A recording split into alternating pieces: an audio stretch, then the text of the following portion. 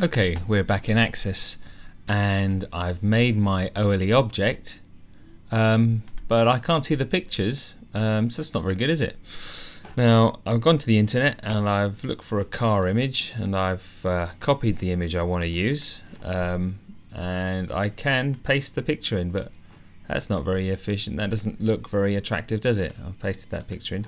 What we need to do is to create something for, called a form Forms are used for viewing and inputting data into a database.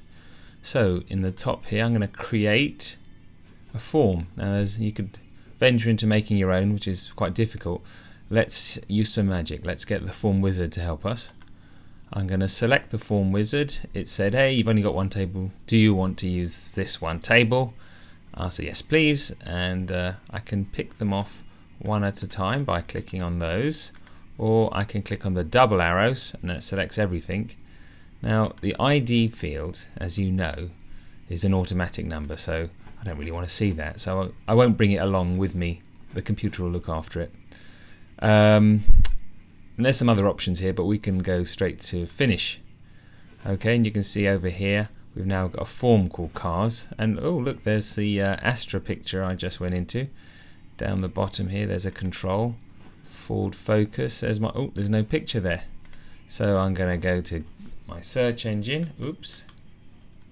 My search engine.